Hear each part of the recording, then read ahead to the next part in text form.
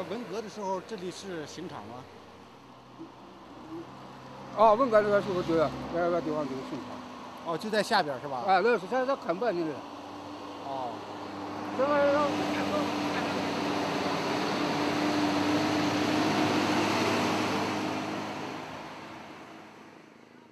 那你还看过枪毙人呢？哦，那我看，每次我都看呢。每次都看。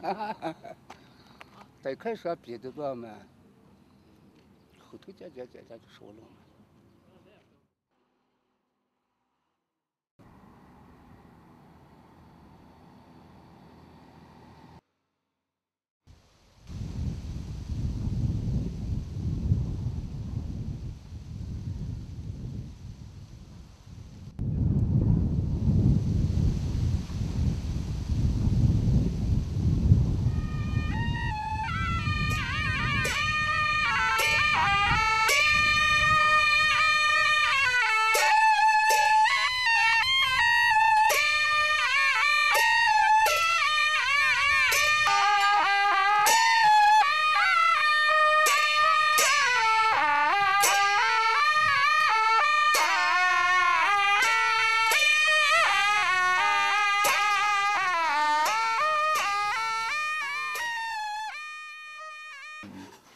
他爸死了以后噻，又和他爸在搞下地下工作的三个同志，叫他们夜里买了一口棺材，三百块钱雇了三个讨饭，四个讨饭的，他们把死起来的地方打了个记号啊，他说你们装着死了的没？还打个记号就成了，个地方。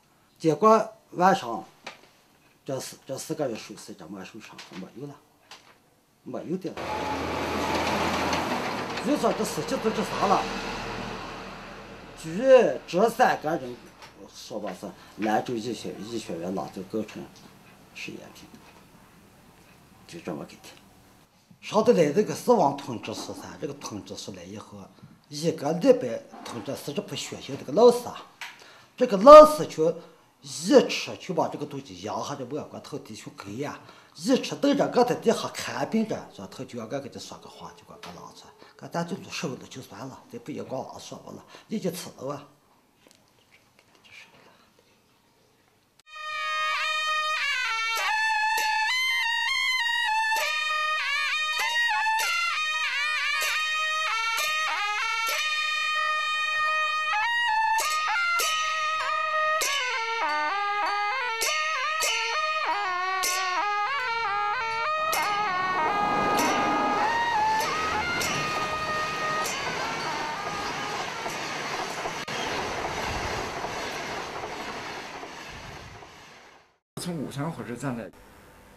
城，一共十华里，沿着那个铁路走，那个路基下面经常看见死人，我呢就非常激动。回来以后啊，我就要写，写给中央啊，写上书，就要反映底下的这些情况。可是我想呢。人家明明报纸上说形势大好，越来越好。我是个右派，我这样弄出去以后，人家能相信我的吗？不是说我污蔑诽谤，是不是？所以写了又撕，撕掉。看见这个了，回来又写，就那样的。但是这个念头给中央写上书。给毛泽东啊写上书这个念头始终没有改变，一直到五九年六七月份发生一件重大事情，我才扭转了我的看法。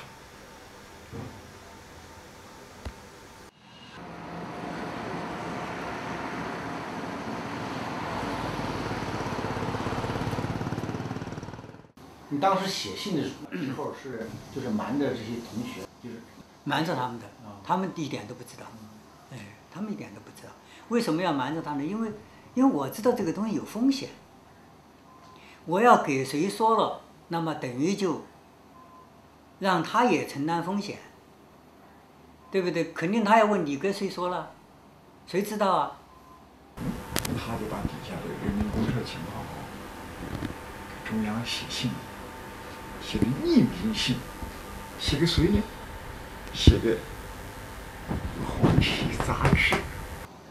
我一一直是很崇拜毛泽东的，呃，从很小参加革命就崇拜毛泽东，但是，所以我觉得底下的事情可能他不知道，哎，把他蒙起来，所以我想翻一个《红旗》杂志，我我看就他们干许就他们搞的，《红旗》杂《红旗》是党中央机关刊物啊，对不对？主要是反映了几个问题，一个就是请党中央调查。到底饿死了多少人？那真是饿殍遍遍野，一点都不夸张。你们为什么感觉到是要很紧迫呢？主要的原因，当时死的人呐，没有办法描述那种心情呐，你就多一秒钟，不要是死多少人。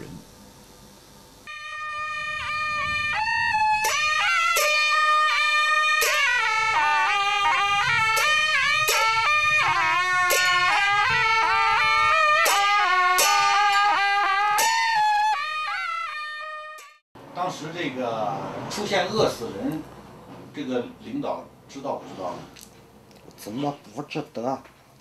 怎么不知道？我跟你说，哎呀，每一个火车站，这沿路那死人到处是啊。那时候我是上中学了，那还是小娃娃不怕死人，啊因为太多了，见的死人多了。这个现在他的那驾驶员的那个地方。那就丢的满满的吧，够吃的了，卖都没人买完。那时候的人不坏啊，绿啊，里边不臭啊，不臭的他没有脂肪，没有肉啊，还的干骨头啊，的，这么给的的，那怎么写着干不知道啊？我都知道，知道他也没有那个能力解决这个问题，那还没有，和教育论教和教育论一样的干部没有啊，那时候咱们这地方没有啊。你看，咱们看电视的教育路为啥先进？就是各司日的见着他敢把商业火车绑上火车的外边偷南去。咱们地方火车站这密闭巴说了，你不能随便坐，说的就就偷着灯把往社会主义的强哥，那就把这堵死了。哎，那就没经过这个，说你们都不相信。他妈搁死的路上，这么个的孩子还怕肚子上哭了，还也想还也咋来了？多的很，你不亲眼见，你都不能想象，当时。那时候这个大跃进啊，人民公社啊，就是这个浮夸，关键的问题就是浮夸。浮夸。有的地方这个干部官瘾大想当官。他就那会的先进，我就搞的扎实，干事的人就多。有的地方的干部不说，反正搁下班这谁也吃上一点，这就干部最后达到了，亏吃好了，可学员没有干死，就是这么个的。就是那些有没有这个信有没有到红旗杂志社呢？到了的，绝对是到了的。那么红旗杂志社就把这个信转到公安公安部门去了，他就把它当成一个反革命信件。抓你的时候，那个情景是怎么回事？抓我的时候是在甘呃在天水甘泉抓的。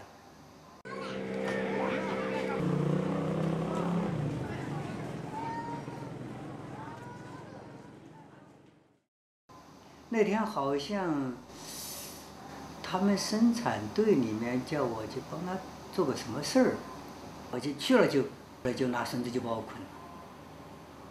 就把我捆到兰州去了。我当时是这样想，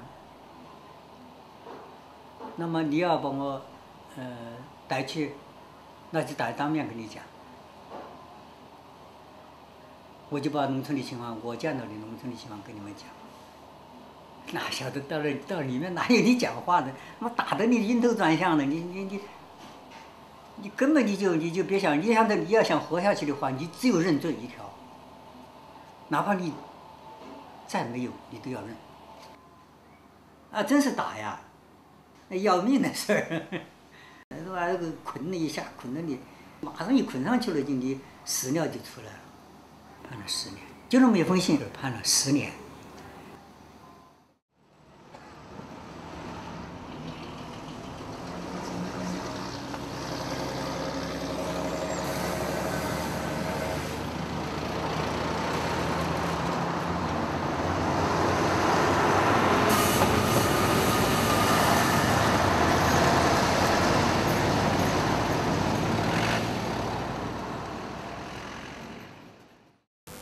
我化为其右，开除学籍、劳动教养。我们大致的情况是这样的：由中共甘肃省委把南大的右派，受我们这一个等级的右派，整个发配到天水，大概一共四十一二个人吧，其中还有个教授，还有助教，有讲师，有几个研究生。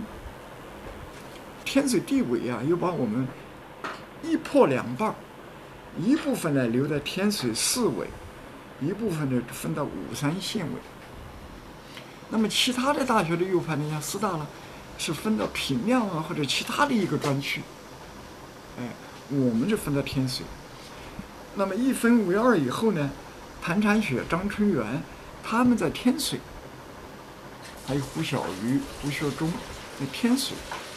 我呢，就发配到武山县委，那么那边二十个，这边是二十个，将近。到了武山县委以后，县委又把我们一分为二，那么一部分呢留到一半留到城关公社，我就在城关公社。郑连生、张开熙、苗青九一个，我一个，我们四个。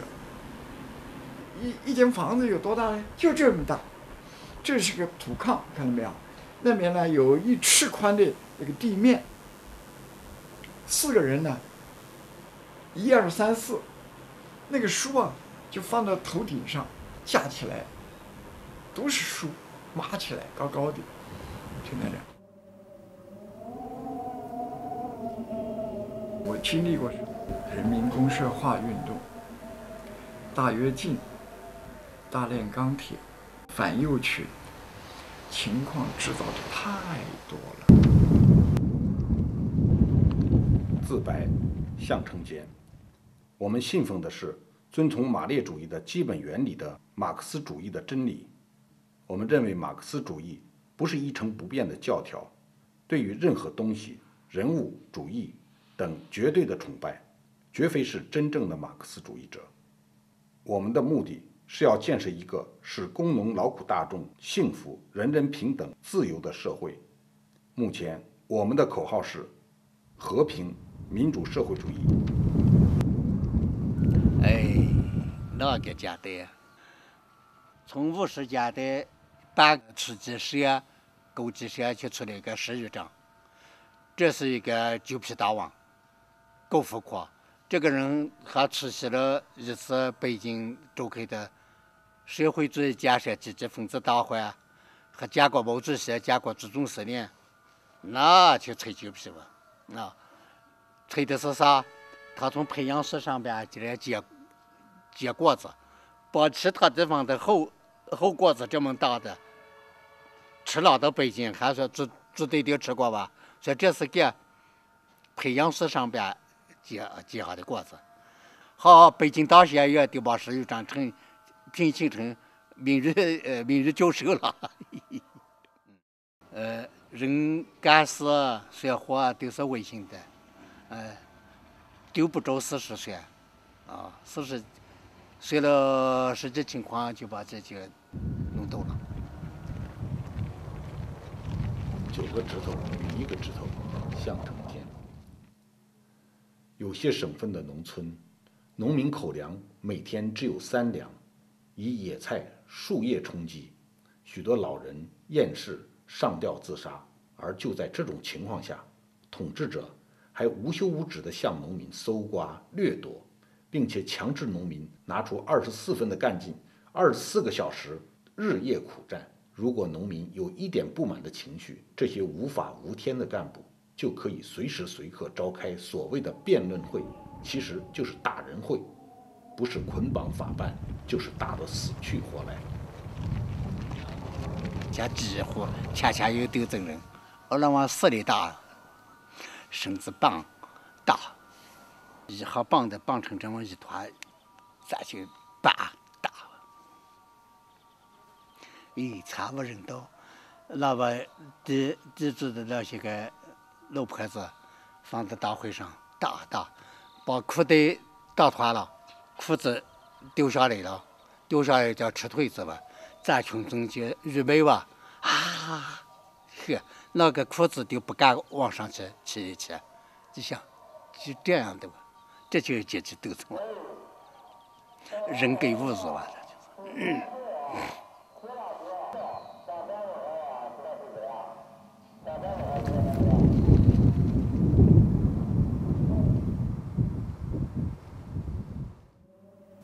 农民、农奴和奴隶，张春元。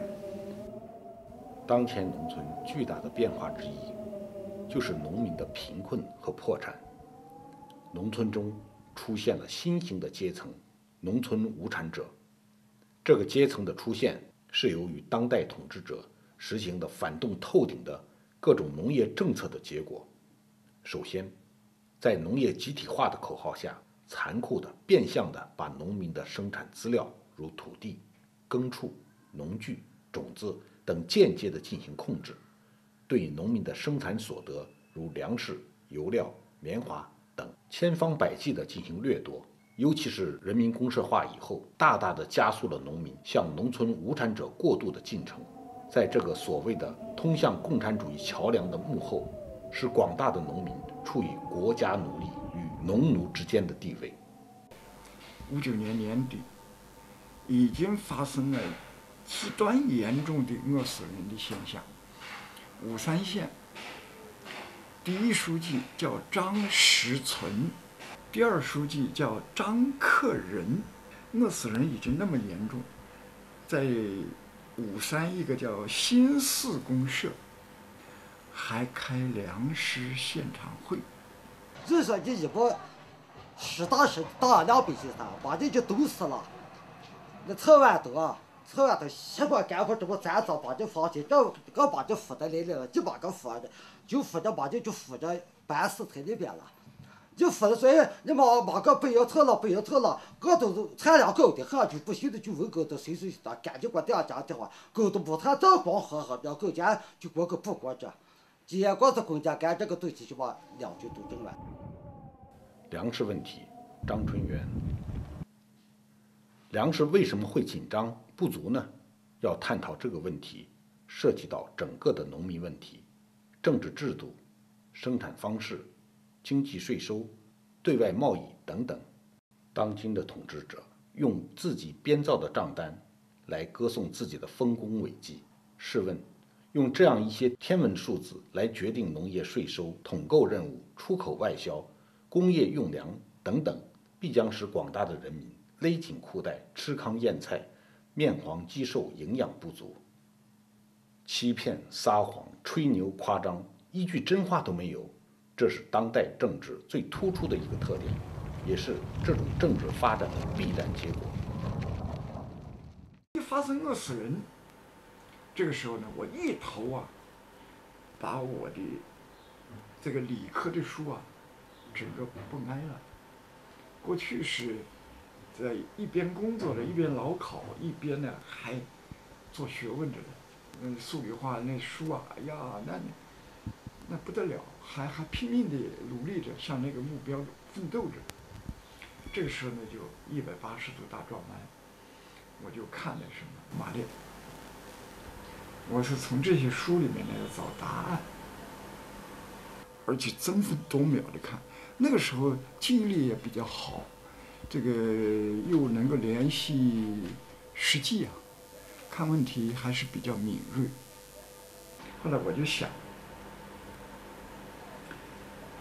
哎呀，我说向真健呐，你可千万不要因为自己这个花幼受了委屈。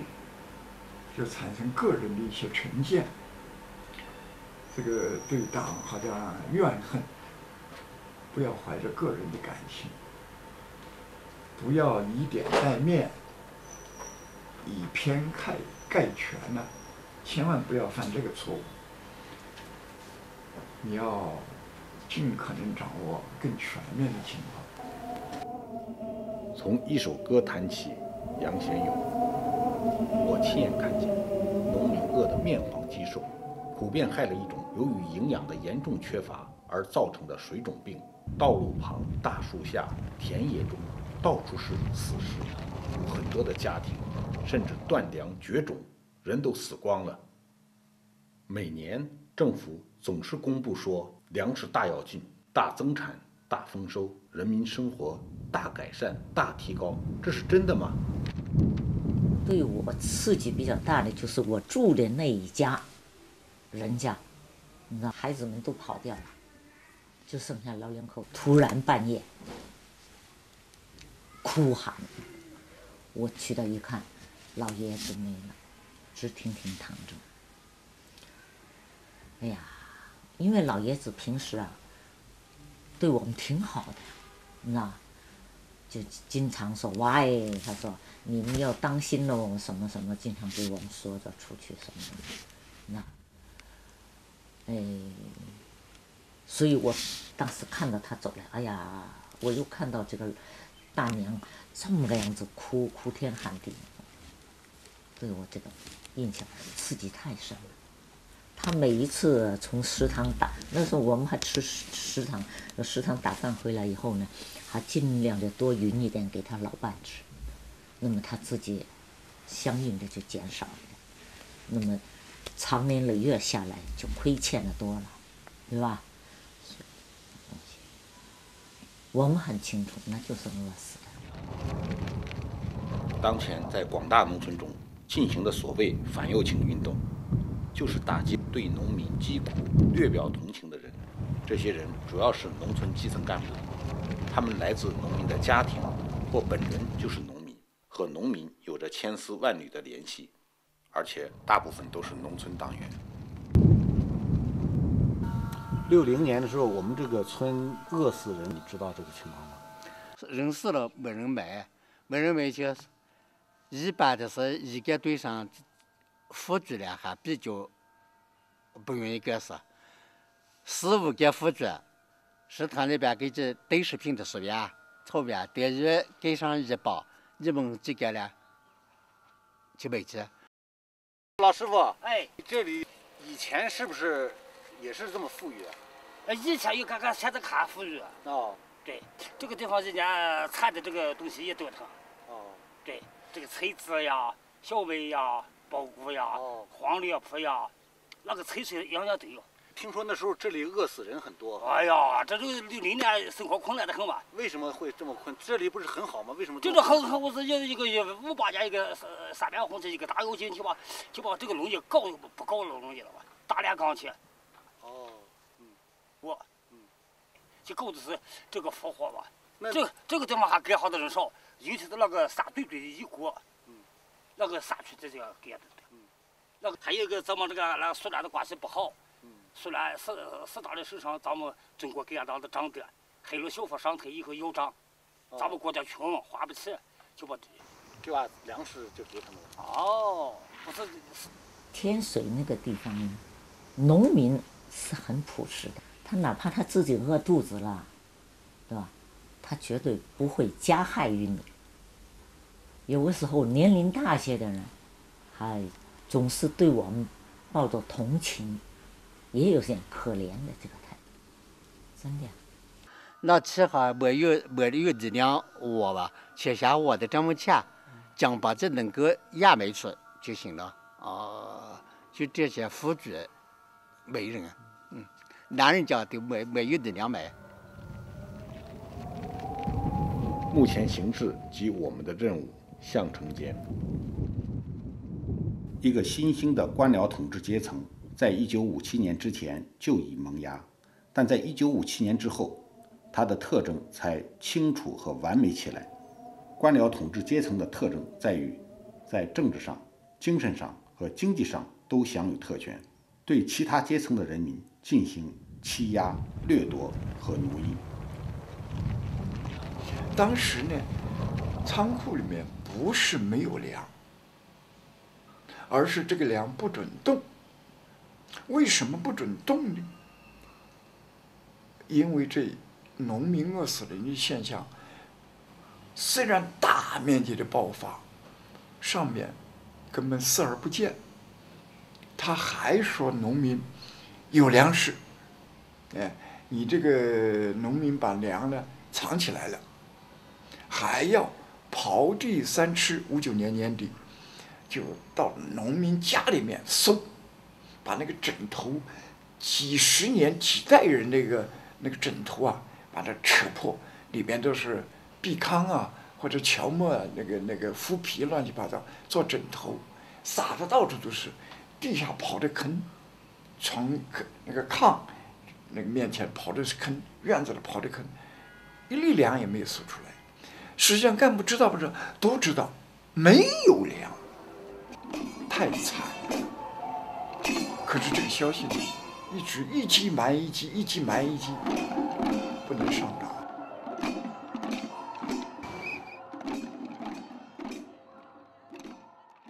当时甘肃省这个中张作良下了一条命令：凡是写信到北京，写给国务院、写给党中央、写给毛主席的信，一律拆开检查。凡是反这个信里面有反映甘肃省这个饿死人、吃不饱的这种人，写信人一路抓到监狱里面。据说抓了一千多，投入监狱。宁愿人吃草，不让红旗倒，当当时的这个口号，那简直不得了。张仲良是甘肃省的省委第一书记，他在八届八中全会就反彭德怀的时候，大概是递升为最后一名政呃中央候补委员，最后一名中央。候补委员，我记得清楚，这没一点含糊。他是升官的。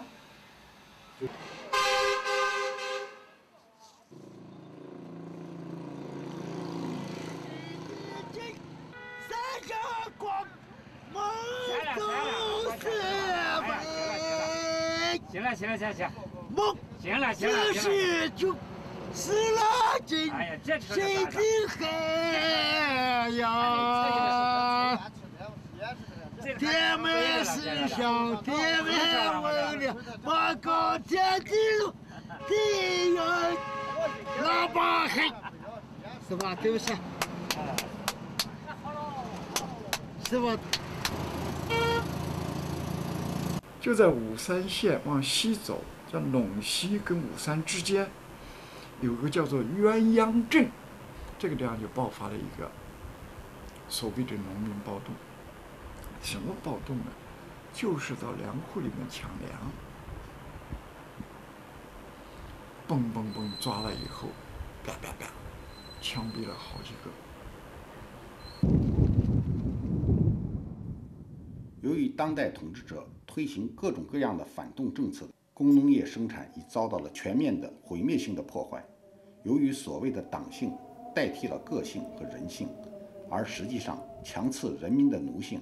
人与人之间的关系到了空前虚伪的程度。由于变化无常和没有法治，人民基本人权被剥夺，每时每刻遭受着生命的危机。五九年十月份，我正好有一次机会，我有一次出差的机会。我到北京买了这种以后，我到了天津，到了保定。石家庄、邯郸、郑州、呃，枫林渡这个地方，我也下车了。西安这些地方我都下车了，因为这个车站啊，这个窗口全部是逃荒、奔亲戚、要饭这样的人，拖儿带女，就是这样的情况，一样。你问，到处都是一样。并不是甘肃一个省的情况，这个时候我就有一个基本结论，我觉得饿死人的情况，全是政策造成的，是中共中央，是毛泽东造成的，我得出这个结论。我了解的情况多了，你像广东、广西、云南、贵州，就四川我不了解，安徽、河南严重的不得了，跟甘肃一样。在太原上，我跟我哥哥有一个大辩论。嗯，我把底下很多情况我跟我哥哥说了，哥哥就害怕我出问题。我哥哥说：“他说你看看太原，你看都是高楼大厦，怎么说我们在党的领导下取得多么伟大的成就？你怎么看不见呢？”我跟我哥哥说：“我说哥哥，你看你弟弟眼睛瞎了没有？没有嘛，眼睛很亮的。我说哥哥看到的我都看到了，但是有一点我看到的哥哥没看到。”这就是我们的差别。回来以后，基本上这个时候我已经确定了，确定了为为真理献身，没话说，已经这样确定。我看你这个文章上写啊，连续的苦战，农民恨之入骨，他们的情绪是跃跃欲试，一触即发。实际上，小规模的农民暴动已满地星火了。这是你当时写的文章。你这个从哪儿来？有这个吗？是啊，你看，这是这就是叫，呃，张春元、苗金九右派反革命集团案。嗯。这个叫结案报告。嗯嗯嗯嗯嗯。这是你当时的。嗯嗯是。呃，你说我们反对那腐朽透顶的。啊，腐朽透顶而自己标榜英明伟大的所谓的共产党宪政权，并矢志不渝的为彻底的毁灭它而奋斗。我当时我是因为我活出来的，我真正活出来的。论政治挂帅何之明？所谓政治挂帅，就其内容来说，首先便强调。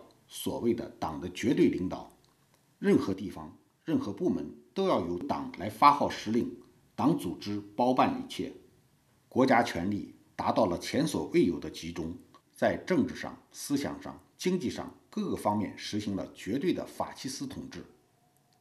与此相适应的是所谓的书记挂帅，一切事情都归书记管，书记的话被奉为金科玉律，而集体领导被抛到了九霄云外。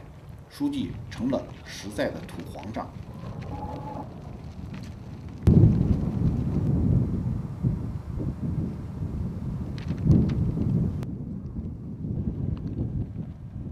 林昭是怎样认识张春元的？孙和，他妹妹呢和林昭他们是同学，怎么的？结果孙和以他妹妹孙福的名义给林昭写了一封信，林昭看到是马上回了信，同时呢。还寄了他的海鸥。呃，孙和很自然的就告诉了张春元。张春元得到了这个信息以后，当时他觉得他非常有必要要和林昭取得联系，因为林昭的背后就是广场。当时张春元也急于能够和广场取得联系。但是苦于没有这个线索。这里所说的广场，是一九五七年北京大学学生在五幺九民主运动中自发印制的一本刊物的名字。它集中反映了北大学生对社会问题的深刻思考。在一九六一年十月，林昭写道：“秉承着北大以及广场的传统影响，我很重视与外地外校联系。”顾燕他们本来早就邀请我去西北，从主观上来说，我是代表广场去思考某些问题的。所以马上，张春元就直接去找到了林昭，就不是写信的问题。找到林昭以后，他当然这大家就谈了，谈了以后，这个林昭嘛。觉得大家都有共同语言，有共同的思想感情。当时呢，他就把他的《普罗米修斯》那一篇东西直接当面交给了张春元。林昭的长诗《普罗米修斯受难的遗志》，全长有三百六十八行。阿波罗的金车渐渐驶近，天边升起了嫣红的黎明。高加索的峰岭迎着朝夕，悬崖上，普罗米修斯已经苏醒。焦虑的早晨，你几时才能对我成为自由光明的象征？定住的镣铐像冰冷的巨蛇，捆得他浑身麻木而疼痛。镣铐的边缘割碎了皮肉，岩石的风铃磨烂了骨筋。大地上那点点锈色的血痕，勾勒出受难者巍然的身影。林昭开始呢，不太同意办这个刊物，他就有这么两个理由，一个呢，就说你秘密的来印这个宣传品，不仅对写和印的人，这个是个冒险，而对于读的人来说，同样也是个冒险。那么还要考虑，就是说。我这印的这一个宣传品出去以后，能给人家一点什么东西？值不值得冒这个险？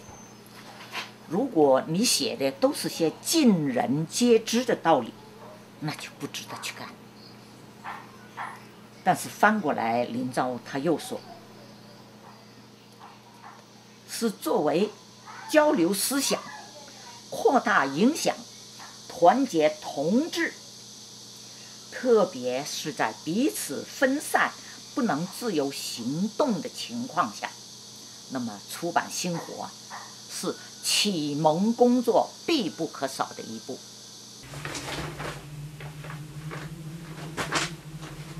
呃，林昭就在这个个人思想立场的回顾与检查这一文中，谈到了对南大这些伙伴们的一些评价。他是这样说的：大约黄土高原上，比之金碧辉煌的北京城内，是辽阔而且宽汉。南大的朋友们性格相当开朗而外向，好动作，却不甚好静去深思。这当然与客观环境有很大关系。是这种好动的习性，用以造反；长处呢是颇富于进取，短处是不善于等待。林昭在这篇文章里面反映出一个什么思想啊？他不是说绝对要跟共产党怎么对对干，没这个意思。他说，我是站在这个民族。祖国这个立场上，你只要做的事情对祖国、对人民有利，我照样信奉你。他说。但是翻过来，当你做的损害了这个的时候，我当然要反对你。你那个时候做的事情，实在是，呃，于情、于理、于法都讲不过去，所以就引起了。反抗，他就承认，他说：“我现在是，我是要反抗你这个，但是，我有一点的，只要你以后改变了，你走到好的一边来了，我仍然相信你，我仍然会走到跟你合作的道路上。你看这个话说的，你看他最后说的很清楚。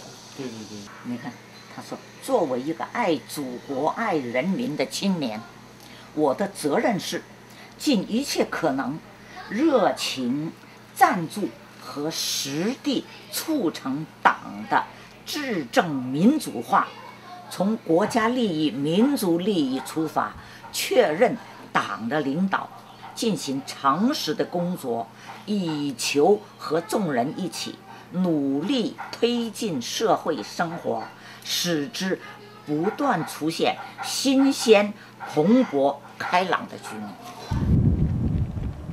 论人民公社，张春元把农民用军事组织形式编制起来，加强统治，扼杀和堵塞农民的迁居、就业、外出谋生的起码要求和道路，在人身自主和自由方面没有丝毫的权利，给农民戴上了无形的枷锁，烙上了奴隶的烙印。如果正式讨论新活啊，那就是北道府的一次旅馆的一次，那是正式开了个会。那那个就是张春元、顾燕、胡小玉、苗庆九，有没有孙和我可记不得了。他们几个人，他们在那里嘛，就是正式的讨论了一些问题。啊，一个呢，就是要不要出一个刊物。当时大家意见是共同的，需要一个刊物。这个刊物的目的就是交流思想、统一认识，这么个作用。所以觉得非常必要。这个是定期还是不定期？说目前先不要定，是吧？先出着看，这个这一这一次呢，应该来说是很重迈开了很重要的一步，也是决定性的一步。那么这个呃这一次开会散了以后，就是各自分头写写稿。啊，张春元是早就酝酿好了要写什么要写什么，他回去以后就呃张春元、胡小玉、顾燕都分别写出来。当初浮夸风啊，饿死人呢、大家都知道，为什么你们非要用写文章的形式再来说呢？不，我们是目睹的事实，但是就归结到苏联的家归国，连比赛，哎，比赛，后来就说是自然灾害是百年不遇的灾害，实际是人祸。所有地方干部都说假话，欺下瞒上啊！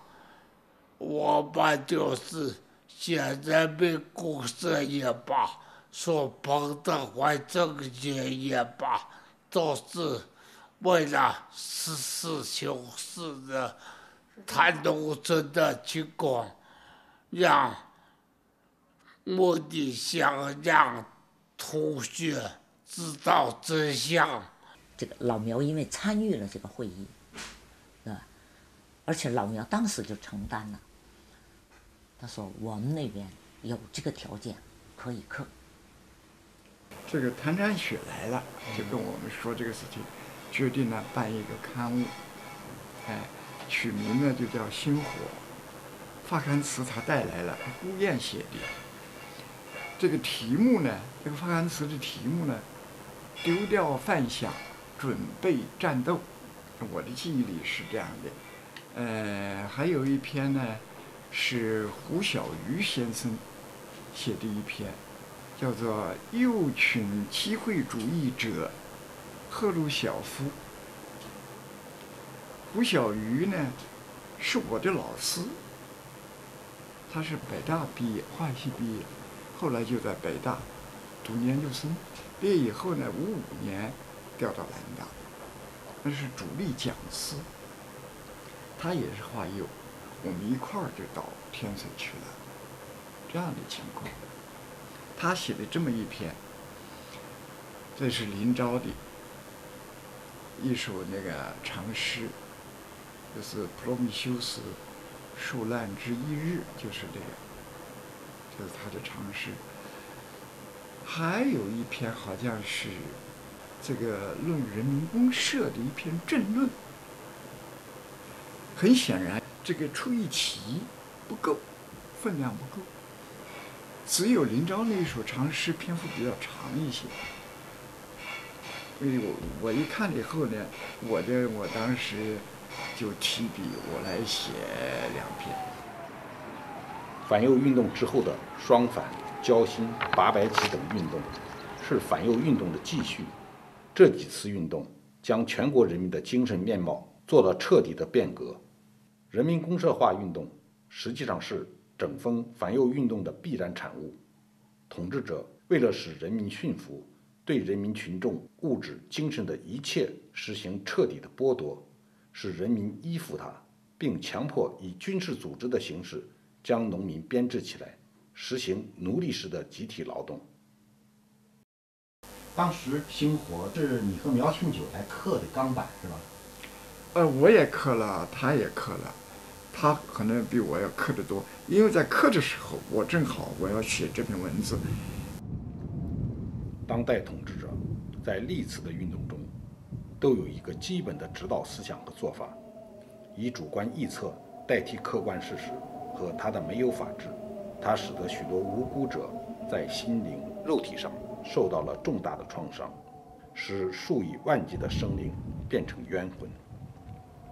由于思想垄断和国家集权，其实就是党的绝对领导的恶性发展，由一个或数个带着真正马克思头衔的政治寡头的思想方法日益主观唯心、反动变质，已经造成了可悲的结果。这绝对问题，这意思五八年接触的。那个时候的事儿你还知道吗？哦，我五八年事情该不知道，五八年，哦，这五八年还边这个地方来啊。哦。哦，这六七年来的。下边这个房子也是去南最屯死的房子，下边这这个房子。哦。呃，就是卫东房子。他们原来在这住过。哦，还有后边的这个库房都是最屯死的房子。哦。这个厂呢，前身呢是个砖瓦厂，还有厂里面遗留下来一些设备，乱七八糟的东西。一个极端简陋的一个油印机，极端就是原厂子里面的，蜡纸也是现成的，就遗留下来的。那厂子里面，我们当时也是两个技术员儿，又没有厂长，我们就管理一切。哦，哎，那个星火上面举着一个火炬，这是苗青九刻的。在我采访过向成坚先生的三年之后，才找到了部分星火的文章。我很吃惊，向先生他精准的记忆力。当时你还能记得印了几份吗？大概二十来份。我们在五三留了一部分，留了一部分呢。你看我们的那个何志明啊、杨先勇啊，也是比较核心的人他看着。其他的一般的像呃涉案的一些人员，嗯，大多数还没有看过，没有看过。发刊词：放弃幻想，准备战斗。顾雁。是清醒的时候了。假如你曾经为了将来的温饱而勒紧裤带，假如你曾经为全民的富裕而日夜苦战，假如你曾经为了做好工作而兢兢业业，那么到了今天，你应该是清醒的。勒紧裤带的结果是口粮的进一步减少。日夜苦战的结果是供应的全面紧张，兢兢业业的结果是残酷的斗争与无情的打击。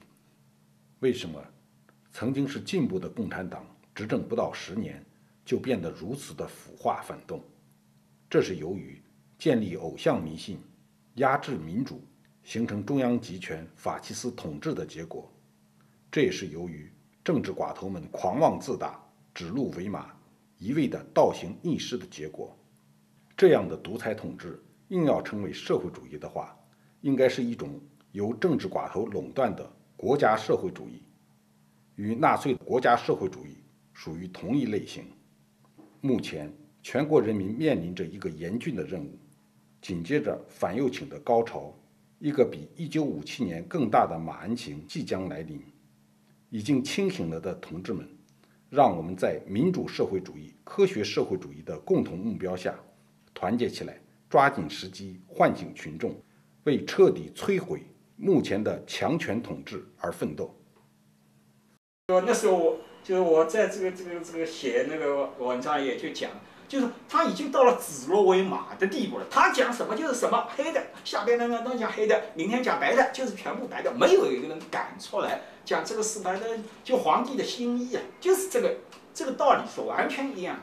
除非小孩子有可能，另外就是年轻人，年轻人已经说不懂了，但是还没有试过到，就是说就是林少讲。讲讲话，我就特别想知道，他们居然在那里提出了民主社会主义，而他们反对的是国家社会主义。哎，我觉得好像很容易理解。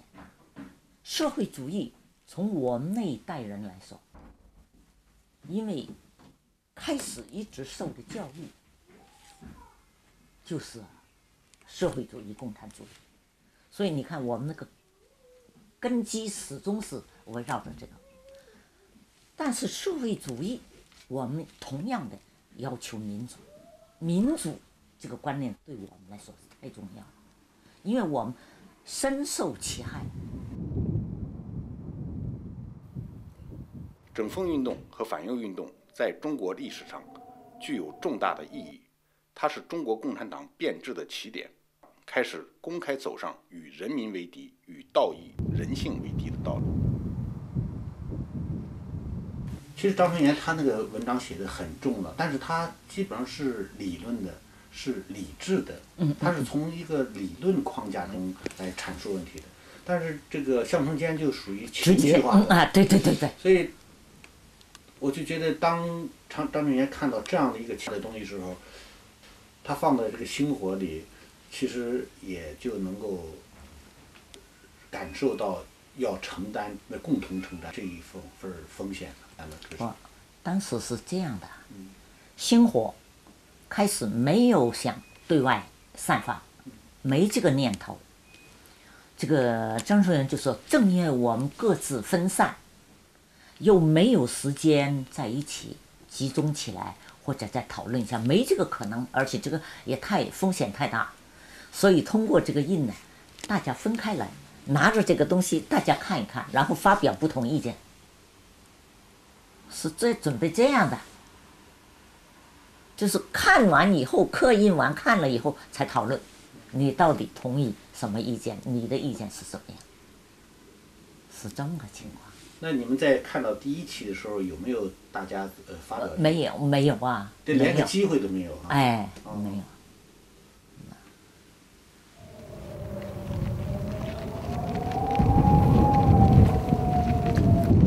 论人民公社，张春元。在我国当前的政治生活和经济生活中，矛盾最突出、最惊人的是农业问题，其实质是农民问题。人民公社并不是历史发展的必然趋势，更不是广大人民的殷切愿望，而是独裁分子主观臆造的产物，是独裁分子为了保持其独裁地位而倒行逆施的结果。人民公社对于广大农村和农民最直接、最残酷的破坏作用之一，就是所谓的全民所有制，就是在所谓的全民所有制的掩盖下，彻底的剥夺农民对土地、耕畜、种子、农具等生产资料的使用权，剥夺农民对生产资料的最低限度的食用和需求，使农民在经济上彻底的无产化，而随着他们经济状态的变化。在政治上处于农奴和国家奴隶的地位。你们这么超前的提出来了思想的控制、政治寡头，那有一个利益集团、民主社会主义。因为事实上当时就是这么样，你就必然会思考，自己就给自己提出问题：为什么？啊，我们的国家怎么会走到这样一个？地步，也许你没有亲身感受到他那个玩意儿，而我们当时是在农村里面，这相对的又有在思想上可以自由驰骋的一面。张春岩不是跟他跟跟我们彭德怀到朝鲜去的嘛？他写了一部电影剧本叫《中朝而立》，在电影文学上发表的，这个文章我都见了。哦，哎，这样的吧？张春岩跟谭长学好，我还不知道。就就原来是右派同校，他是历史系的，我中文系的。当时我和张春元的接触不是很多的，因为什么？我劳动的地方在甘泉，他在马宝泉，当中还有很长的一段距离，而且只能是我每一次要出来到北道那边去办事。经过那里，我才到他那里去跟他会会面，啊？因为我们那时候到底是个右派身份，不能随便乱走。他非常反感，就是只考虑自己一个人的利益。当他越狱了以后，出去了以后，他自己觉得我一个人人身自由，这个东西不算什么，而且他觉得。他目前这这个这种生活方式，他自己怎么说呢？他认为他说，既对不起自己，也对不起所有的这个朋友们，所以他不是准备直接到北京去。他到北京就自就直接去找，就像跟孙志云一样，要找到《红旗》杂志啊，《人民日报》就找这些地方去，也是。他就陈述他自己的见解。把农民用军事组织形式编制起来，这样便于控制与驱使，使广大的农民丧失了人身自由、劳动就业、居住迁徙等起码的生活权利，而作为剥削与统治农民的政社合一的人民公社，却像一座大山压在农民的头上，给农民带上了无形的枷锁。公共食堂就是用饥饿来进行强迫性劳役的一种工具。户口手续是一种变相的农奴卖身契。但是张春岩是不是和林昭之间有很深的谈话？很很直接的摊牌的。嗯。那如果不是摊牌的话，林昭不会把他在资料室里面弄到的南宫纲领啊，什么这些东西直接交给他，对吧？不到一定程度，谁敢摊牌这个东西？就是南斯拉夫共同纲领后来对你有什么样的一个启发呢？嗯，这个启发大了。当然，我们现在掌握的情况比那个时候就不能比了。嗯。那个时候呢，我们只能呢，从各个方面去推测中共跟苏共的分歧呀，我们已经感觉到了，而且苏联。里边发生的大量的情况，我们都有很多的猜测。我们认为，大概跟中国当时的情况，就五九年啊，前后五八年前后五七年，跟这个有类似的地方。那个路是走不通的，这个路是一条死路。另外，我看了，因为。钻到这个马克思主义那个堆堆里面去以后呢，我发现，不但我没有消除我的疑虑，没有从中找到答案，相反的加深了我的疑虑。我我赞成南宫的两条，我跟你说，一个是南斯拉夫当时提出来啊，我们南宫啊，只能在人民群众之中，而不是凌驾于人民群众之上，这个观点我很赞成。哎，第二条，南斯拉夫的共产党领导人，包括铁头在内，他的待遇啊，不高于老一个老母的待遇。哎呀，这两条简直是使我心里非常高兴的嘛，我就表示赞成。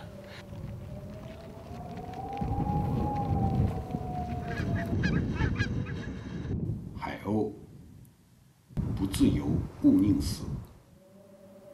林昭。灰蓝的海洋上，暮色苍黄。一艘船行驶着，穿越波浪，满载着带有镣铐的囚徒，去向某个不可知的地方。我们犯了什么罪过？杀人、放火，黑夜里强抢，什么都不是，只有一桩。我们把自由视成空气和食粮。那像我们像林昭那样的，我鸡蛋喷舌头我也要喷，是吧？啊，不能你这个个错的东西就是没有人敢来，这个就有这一点点精神。所以我觉得呢，林昭的最最就是说突出的啊，可以说不仅是我我们国家了，整整个的一个人类这个里边的一个性质的一个人性的里边的一个问题，是吧？他就是说坚持的，就不管你的势力有多大，都有多强，你是错了，我就要跟你顶，就有这个。星火出来以后，这个顾燕就带了一部分星火，就回上海去了。这个时候呢，顾燕和林昭又直接联系。这个林昭主要觉得顾燕都是北大同学，所以有一种分外亲切的感情。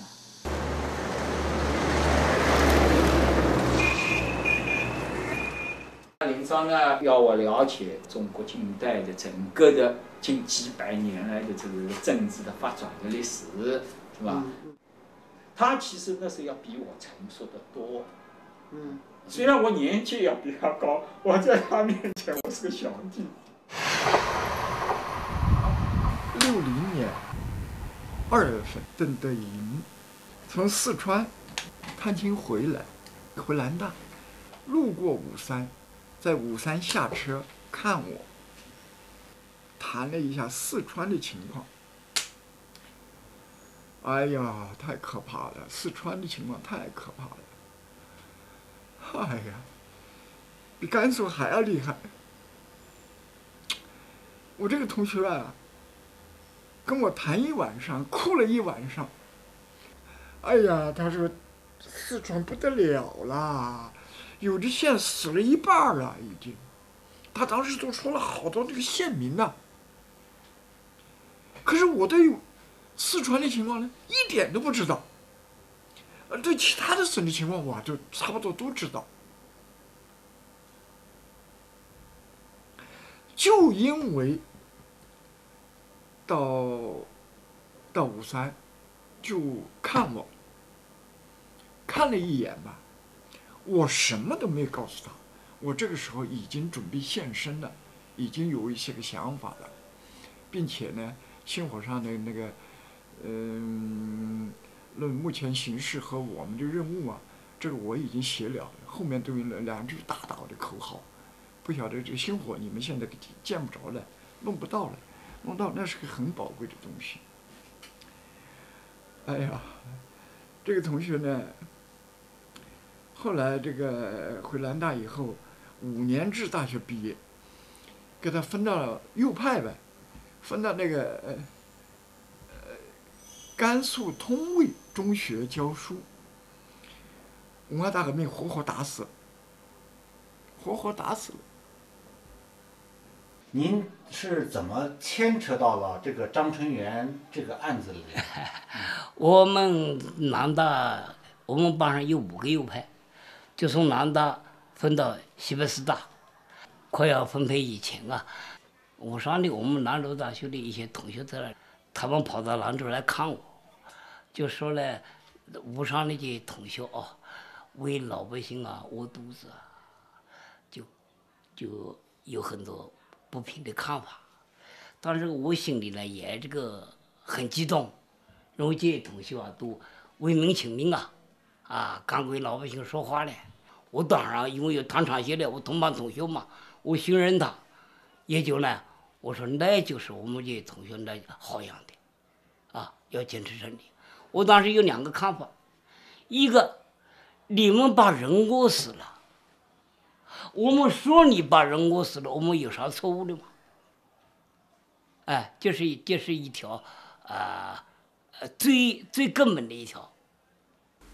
第这个第一期印了以后，这个大家看了以后，哎呀，总觉得好像大家这个情绪更加激发起来了，觉得有必要再继续搞下去，是吧？怎么搞？当时也没有很长远的计划，啊，但是有必要沿着这条路子走下去，因为这样的话，大家可以交流思想。当时也没想到要向外的印发，后来这个张春元呢，他们这个才提出来，就是应该向现在这些当局者的这高层人士给印发啊。当时不是说就是北京、上海、广州、武汉、西安，就这就这五个城市。因为我们判断呢，在党内啊，还是这个正直这个的人呢啊，这样的党员干部大有人在。甘肃省委第二书记霍维德说：“思想改造、反右斗争，把知识分子都得罪了；合作化、人民公社化运动，把农民得罪了；红旗竞赛、超先进、赶先进。”提高定额、加班加点，把工人得罪了。看到全国市场全面紧张的局面，他说：“老子若知道是这样，当初就不革命了。”我总觉得也是人各有志。那你说何志明，原来他没参与我们这个事情，后来他知道以后，跟他所处的环境一接触，他马上好像就喷发出来了。他说：“我就把脑袋别在裤腰里面。”就是这么一种感情。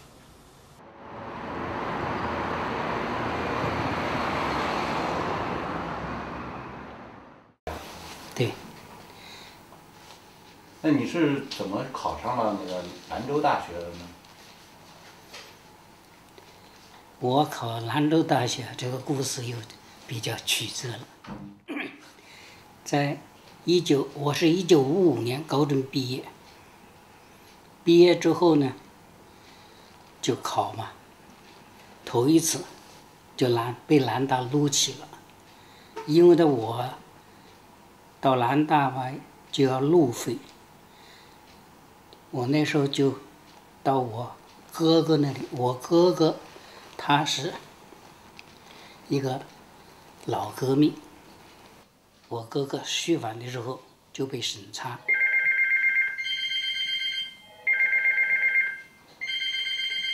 事你要接电话你就接，没事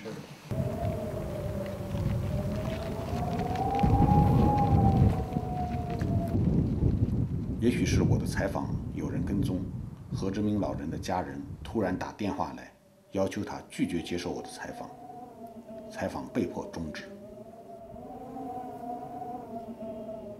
何先生在《星火》第二期中有两篇文章，一篇是批判中国哲学界的小丑们。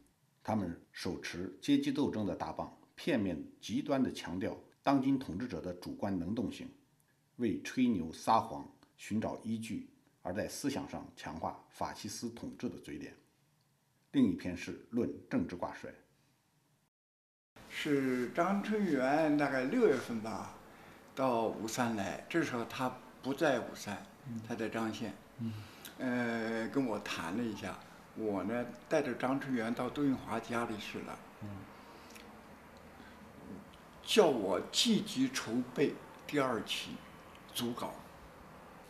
当时呢，在我手跟前呢，已经有两篇文章，一篇文章呢是这个林昭的《海鸥》，一篇呢是贺志明的一篇文章，还有我自己写的《石母记》。我是根据真人真事，一个孩子把母亲吃掉了，一天吃一点，一天吃一点，后来就剩下一个头了，他就跑了，跑了，以后抓回来以后枪毙了，这么一个，我就根据这个事情写了个《石母记》。星火第二期的稿件有项承坚的四篇文章，《石母记》，不打自招。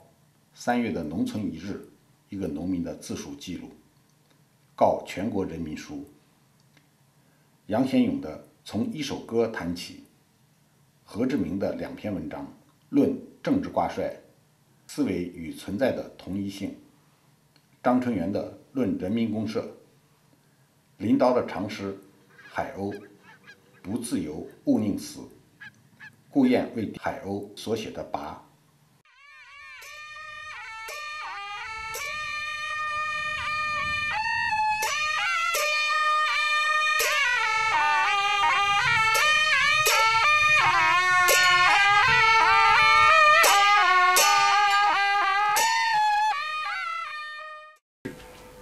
他呢是我们的顶头上司，我们是这个公社的老考右派，他是第一把手。有一天开会，我就参加会，就晚了，他就留我，就跟他住在一起，确实对我是非常好的。这个时候就已经不是专政和被专政的关系了。而是一种同志的关系了，同志的关系。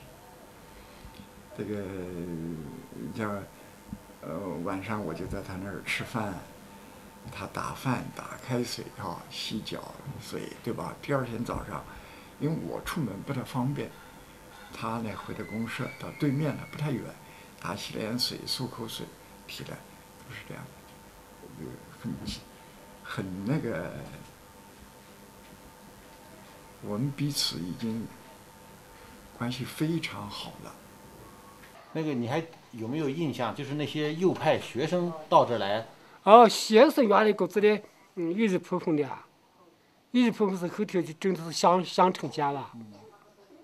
我这还给送货嘞。对对对。送货这个人很精干啊。我是当好，我是上海人嘛。对。啊，后头是咱们是给的换成右派，我是自己让龙华把还有个石膏厂。他们去都个石口厂子，呃，改造的了。六零年四五月份，我到他家里去，他一再强调的问题。他说别的地方我无能为力，我尽量的以十万分的努力，我要想办法使我所辖范围内不要发生这种悲剧。当时他也知道都在饿死。哎，只是他知道情况比我多，老天爷。很多东西他告诉我，哎，我因为我那个时候，呃，出门的机会啊不太多。你像呢，他这个他知道的就是不仅仅是武山，武山叫做甘谷、通渭、陇西、定西、张县，这个岷县，呃，他都知道。嗯，在阴历三四月间，有一个县就饿死了一万多人。呃，我所指的就是武山县，这是周永华跟我透露的。事实上，比武山县呢严重的多得多的，还有的是。他说我已经呢给各个管理区生产队都已经通知了。呃，如果口粮接不上，没有办法了，立即叫所有的人。宁愿一天都不出工，在家里静静的睡觉，躺着休息，尽量的减少体能的消耗。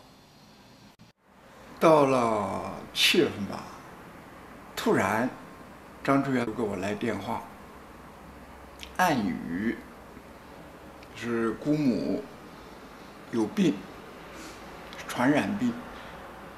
好像就是小心传染吧，要个体，就是我就懂得了。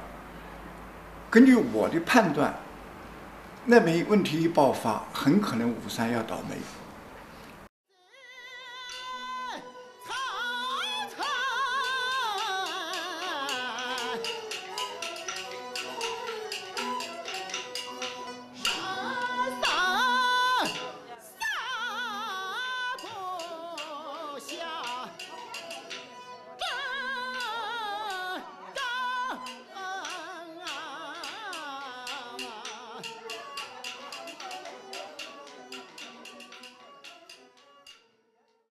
初这个你们的这个集团，就是包括你像你这样的人在内，一共是四十四个人。不止四十四啊，一共涉及的将近二百啊。哦，当时抓了这么多，但是判刑的判了有四十几，就是四十几个，二百多俩老的，有好多根本就是长了一点本本子，人家也认为的反革命集团嘛。六零年九月三十号晚上。在贺家店抓的，武山的基本上就是同一天，同一天晚上抓的。第二起在苗庆酒店，当时要要逮捕他们，一夜之间把他们全给抄了嘛。给后头沟子里一个打工的老百姓，所以既然某个特殊知道，呃，下位小礼堂抓走了，咱狗杂就不明白，啊，狗杂，哎，这人咱都得对这个老百姓都有类似关系，都给方面很好吧？哦，也别架子，哎，这人咋早走了？当时张春元就我父亲一个一个同干饭，因为张春元是右派反革命集团到五三改造者，我父亲是县委书记做书记，比较同情这些右派学子，而且呢，对他们的生活呢等等等方面比较关怀。由于这样的情况呢，所以就被判刑了，是这样的。少情啊！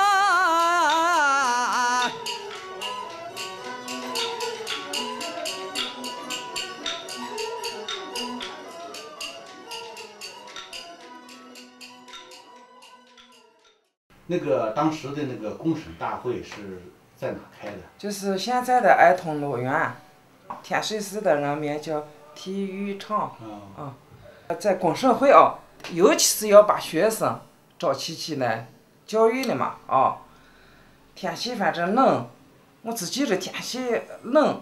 这个开这个公审大会的时候是，呃，只有你和张春元的，还是这一起全体都有？你看，天水的都在一起。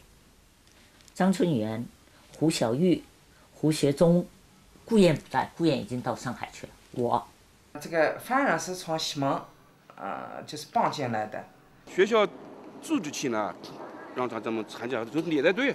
哦。一个学校一个学校，啊，列队参加这个宣判会了。公安局的人夹住了嘛，就把他就从就是学生的这些呃错的这些，就是这个站了站住就上了。就站完以后，就上了台子了。嗯，这个环四周就是跑道嘛。嗯嗯嗯。那主席台在什么地方？这个位置，正南，正南。哦。嗯。那就是现在盖楼的地方。啊，盖那个盖楼的地方。就是这个叫张春元的这个反党集团的宣判会。嗯。啊，所有学生都来。对对对。当时把你们押上去的时候，还是他们那个学生都坐在那个操场上，嗯，对，一个台子，他那个时候从就是从他们身边带对对对，没错，这我记得，就是当中我带着我们从他们当中走过，怎么绕场一周？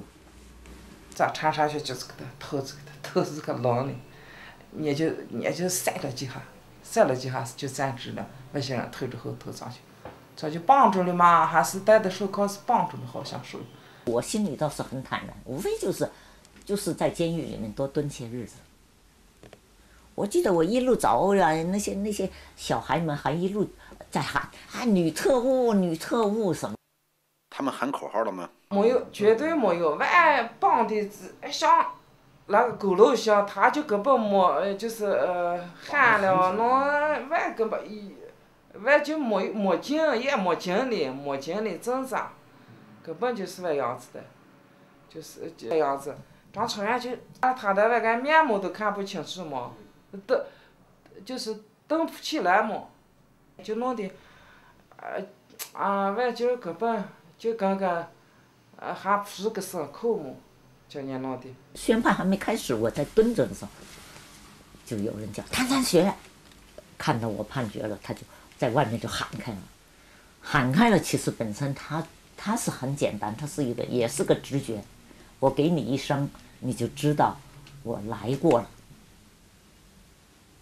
我说行我见长山学呃这个记忆犹新啊，现在还是跟呃就是几天前见上的像。这个圈圈头，他的头发是卷的，脸稍微长点，眼睛小，黄。可能就是他监狱的营养，你像，呃，自然灾害么，外县的人都吃不饱，外头的人能吃饱，吃不饱。大概就介绍了一下，就是长沙学是张春院的未婚妻，呃，现行反革命，就是在天水在西带，就是呃搞活动。当时你是几年级啊？我才是二年级，初中二年级。初中二年级。哦，十四岁嘛，很小很小嘛。天气也冷得很，原来就是从我的心里就想着，哎呦，这些人，反正就记忆就是最年轻，嗯，是大学生。这是一篇星火成员在被捕后的交代。论人民公社这篇东西，今年五月由张春元从外地带来，本来打算在五月份的《星火》杂志上刊登，后来苗庆九说，《星火》杂志第二期暂时不出了。弄一篇好东西，准备发给全国公社书记以上的干部，后来没有发出，原因不详。这份东西后来和星火一起由田昌文交给向成坚。这一个图片说，在百泉乡农民李德民的家中，挖出了苗庆九、向成坚专门装反动文件的罐子，罐子旁边是搜出的马克思选集。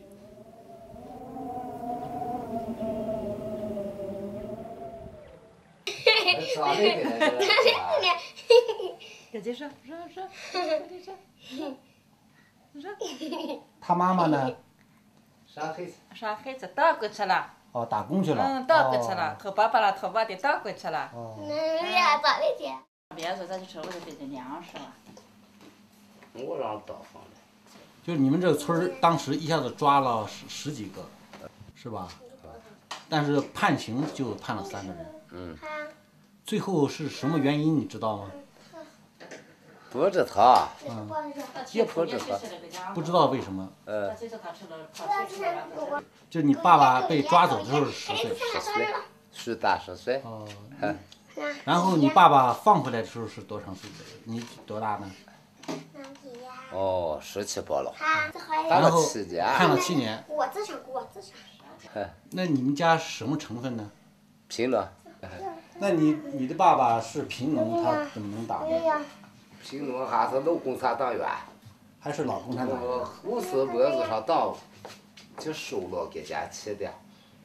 我当一级的人吧，我手枪国民党的手枪是给家的自打的党团的人我给呗。不是开斗争会是哪一年？我是六八年吧，六七年的事。哦哦。的。当时打的时候你看到了是吧？到多大岁我过去吧。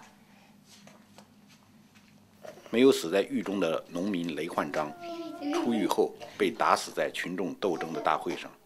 在这个右派反革命集团案中，大部分是无辜的农民，而他们的命运很多如雷焕章一样。那判决书啊，元月份或者是二月份就已经印好了。这是我满了以后回去，我弟弟、我父亲跟我说的，我也判二十年。你果不是陛下都都知道，早就没命了。这个说的对了。我要是不是贫下中农啊，可能呢，我最先挨子弹。我最先挨子弹。他是公开坚持观点，我们。最先挨子弹是不主张公开的坚持自己的东西，就说对方错了，自己什么主张自己不爱说呀。他是很直白的就说了，还有一个什么自白呀，自白。我和他曾经争论过，不能去自白的这东西呀。那领导看守所把裤子一抽，就说是你讲完信，我说讲完信没？说你的事情你还不知道吗？桌子上放了一个地铺证，甘肃省高级人民检察院以现行反革命保安行为地铺规案的一个地铺证，叫我签字把裤子都抽掉，就这样拉进去了。胡英的。研究生胡英的在在这个在在在新疆这里个，共产在旁边，咱是八号关着，我关着六号，胡秀忠呢关到四号，这个呃胡胡小一呢关在七号，反正一个号子里光一个，都是南州大学的，一叫南州大方革命集团，把我叫的六号，不叫叫名字的，人家就问我。说南大光的这些人，你认识吗？我认识吗？我说咋不认识？我认识。好，人家说好得很，你就是方革命集团的联络员。你看看冤枉不冤枉？我说我不知道，他们说我确实不知道。所以人家说你这个反动家伙，你坦白从宽，看起从严，你顽抗到底。我呢，在看守所跟别人不太一样，跟苗金九都不一样。苗金九呢？据说哈，不知道呗。听说他审呢，审他，他不开口，什么都不说。我是一审就骂，一审就骂，指着鼻子骂。那话骂的就不不堪入耳，那是豁出来的，指着鼻子骂他一个畜生，两个畜生，一百个畜生。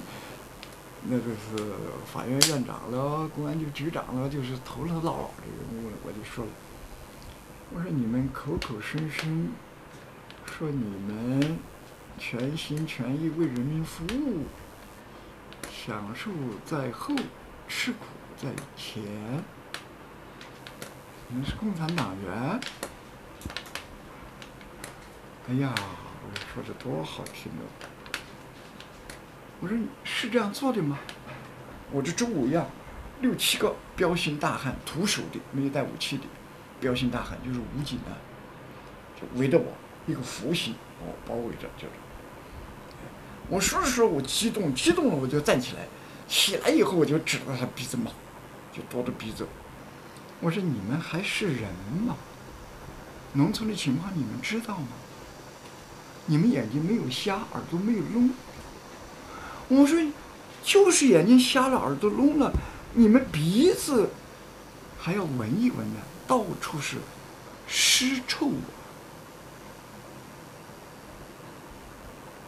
我说，只要有一点人性的人，不能无动于衷。我说，你们是人吗？你们不配，你们不是人，你们不但不是共产党员。你们连最起码的人不够格，你们比畜生还要畜生！就骂的，骂着骂着就激动了，激动了以后就，哎呀，那场面就，每一次就是我把它看成一次战斗一样的，哎，我把我心里的话我都要说出来，那根本就无所畏惧了，哎，无所畏惧了，真的，那个时候我感觉到。他们因为我说的有些东西啊，都比较实在、实际。有些时候他们，他们也受感动，也受影响的，那个影响还大呀，还不是一般的。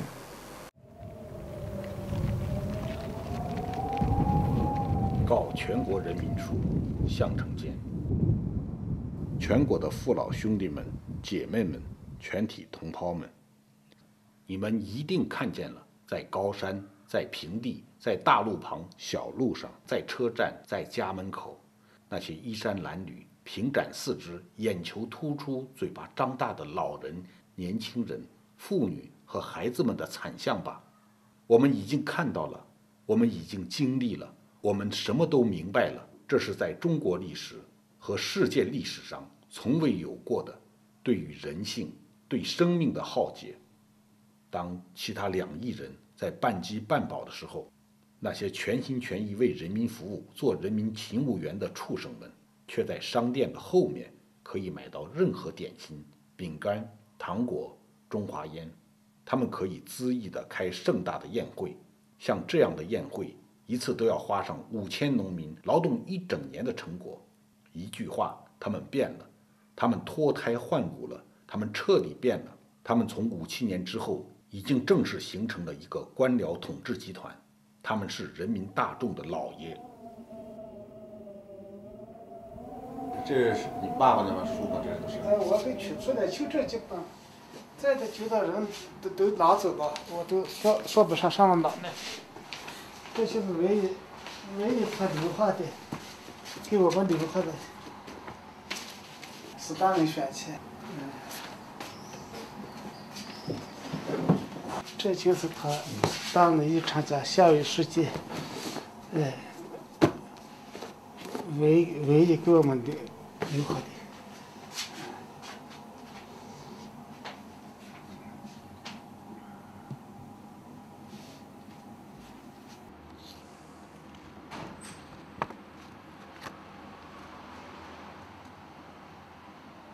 作为杜英华，他是一个县委书记，应该说在这个体制内，他知道做出这样的决定是很有风险的。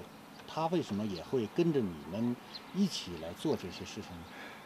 邓华跟一般的共产党员确实不一样。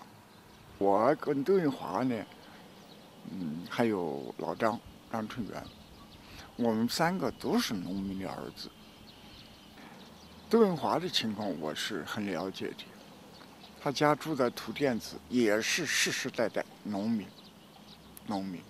嗯，他原先参加革命呢，也就是因为看见了国民党腐败，对农民的疾苦，嗯，这个不闻不问，嗯，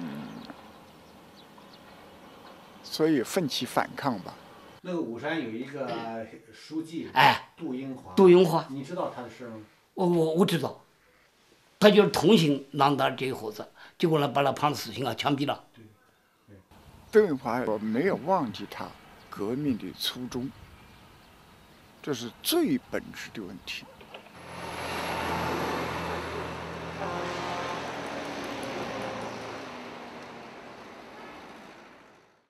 后来你们到了土店子，当时是一个背了个反革命家丑哎，帽。对对对，那时间吧，就说句实话，那才就是全靠我们魏家了。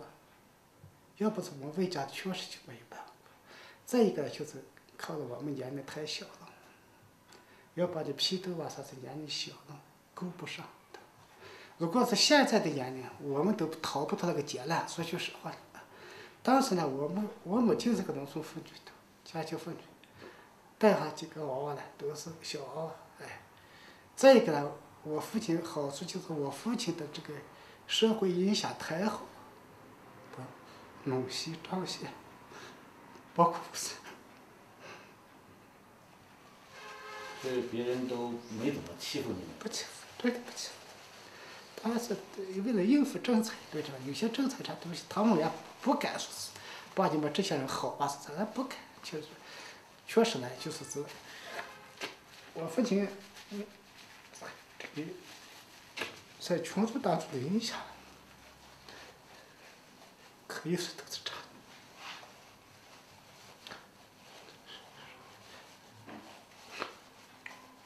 的。有三年嘛，六七年，搁那个娃还看过两次，一次去见过，一次去磨完监。我说是人都困难的很，坐到早上家的慢车，到七岁时的后夜还都都快快亮了，都四五点了。那你跟你爸爸当时是一个什么样的形象？也是黑的很，好像是就是我给他，嗯，就有印象的，就是也是挺黑的，就那伙计，挺苦的样子，就是这么给他，嗯。知道我父亲的那个是这嗯，共产党，嗯，把他的最好的儿子都杀掉了。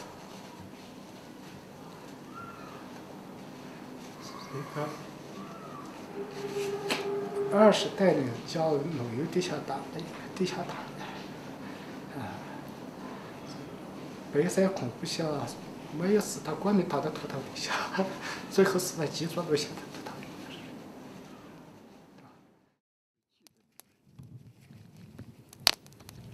我是一个能够在真理面前低头的人。如果我错了，你把我怎么样，我没有任何怨言。我觉得我们死掉的这些同学太可惜了，冯素云呐、邓德银呐、司美堂啊、胡锡钟啊，哎呀，当然林昭就更不用说了，实在太可惜了。我觉得中国呀，一百多年了，没有民主、科学、科学、民主，就这四个字，对中国来说真难啊，真难。老杜啊，老张，两位兄长，四十年前，你们两个在这里壮烈牺牲，为了亿万农民，为了我们民族的复兴，你们献出了自己宝贵的生命。我找不到你们的尸骨，但是你们的精神一直活在我的心里。你们追求的民主、正义的事情，一定会在中国大地出现。你们安息吧。